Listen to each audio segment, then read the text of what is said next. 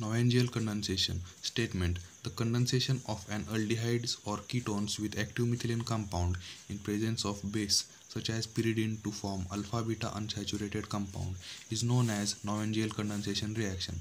General reaction. In general reaction acetaldehyde reacts with active methylene compound which is diethyl malonate in presence of base which is pyridine to form alpha beta unsaturated compound. Mechanism. In mechanism base abstracts proton from active methylene compound which is diethyl malonate to form carbanion. In next step, carbanion attacks on carbonyl carbon of aldehyde or ketone to form enolate ion.